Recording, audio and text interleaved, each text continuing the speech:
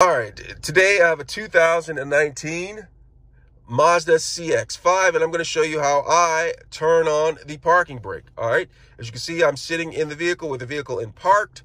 All right, I'm going to look down to the center, and you see this right here? This is how you turn on the parking brake. So what I'm going to do is I'm going to press down on the brake, what I normally do, and then I pull up on the park feature. All right, and when you do that, there's an indicator up on the instrument panel that says brake. All right. Now to turn it off, I'm going to go right back down here. My foot is on the brake. And then I'm going to go right here and I'm going to press that down and the brake, parking brake turns off. Let me know if you have any questions.